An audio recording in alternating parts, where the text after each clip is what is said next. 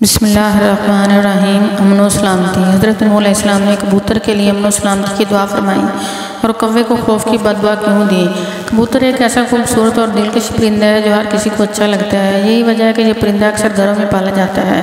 घरों के अलावा अक्सर मज़ारों पर भी परिंदा मौजूद होता है।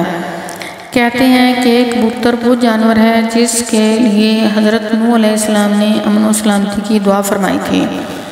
और यही वजह है कि कबूतर इंसानी आबादी से मानूस हैं और कौवे को खौफ की बदवा दी जाती है। यही वजह है कि कौवा इंसानी आबादी से हरासा और दूर रहता है। इसी वजह से लोग आज तक इसे अच्छा नहीं समझते। तफसीर में है कि हज़रत नूह इस्लाम ने जब कश्ती को जूदी पहाड़ पर ठहराया तो आपने कश्ती का वो हिस्सा खोला जहाँ परिंदे रहते थे। तो आपने कव्वे से फरमाया कि ज़मीन को देख कर आओ, उस पर कितना पानी है? या कितना शहर गर्क हो चुका है? कव्वे को एक मुर्दार जानवर मिला और वह उसे खाने में मस्त हो गया और वापस ना आया। हज़रत नूह को खुश्क और सख्त ज़मीन की ज़रूरत थी, इसलिए उसके देर करने पर कबूतर को भेज दिया गया। उसे ज़मीन का कोई खत्ता भी नज़र नहीं आया, इसलिए वह जतून का पत्ता लेकर हाज़िर हो गया। इससे हज़रत नू ने अंदाज़ा लगाया कि पानी कम है, जिससे दरख्त के पत्ते ज़ाहिर हो गए हैं, लेकिन जेर आब है। चंद दिन ठहर कर फिर इस कबूतर को भेजा तो ज़मीन की कीचड़ में उसके पाँव भर गए। वापस आया तो हज़रत नूसम उसे देखकर अंदाज़ा लगाया कि अब पानी ज़मीन में जज्ब हो गया है, लेकिन ज़मीन खुश्क नहीं हुई।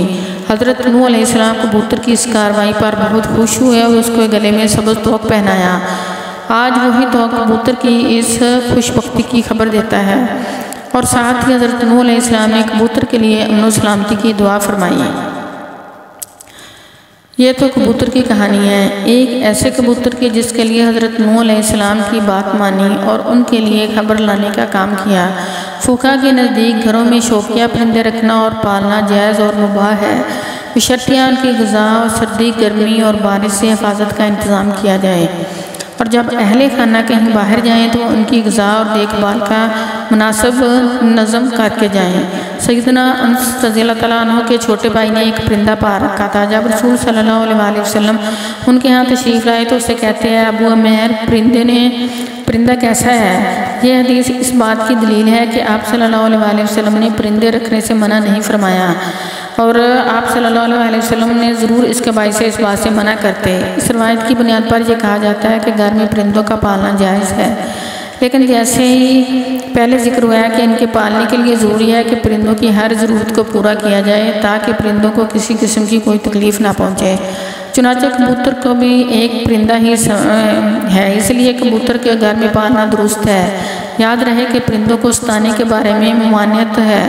जैसा कि अबू दाऊद ने हज़रत अब्दुल्ला बिन मसूद की रवायत करदा एक हदीस में कबूतर का ज़िक्र किया, जिसमें कबूतर अल्लाह ताला के रसूल सल्लल्लाहु अलैहि वसल्लम के सर मुबारक पर मंडरा रहा था और अपनी ज़बान से शिकायत कर रहा था कि किसी ने उसके घोंसले से अंडे उठा लिए। नबी करीम सल्लल्लाहु वसल्लम ने साहबा में ऐलान किया तो एक साहबी ने अंडे उठाना कबूल किया और उन्हें आपने हुक्म दिया कि वो घोंसले में अंडे वापस रखो। तो उसने रवायत से मालूम होता है कि परिंदों को सताना नाजायज़ है और परिंदों को सताने से इसलिए रोका गया है कि परिंदों की बदवा लगने का माल है। चूँकि कबूतरों में इन परिंदों में शामिल है जो कि अम्बिया का पसंदीदा रहा है, इसलिए कबूतर को सताया जाए तो कबूतर भी बदवा दे सकता है। लिहाजा कबूतर को सताने से इजतनाब करना चाहिए। दुआओं में याद रखें please like comments and subscribe my channel जजाकल्ला